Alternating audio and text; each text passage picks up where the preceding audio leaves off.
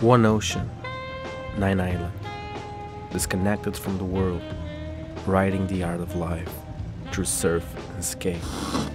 His name is Manuel Morigaki.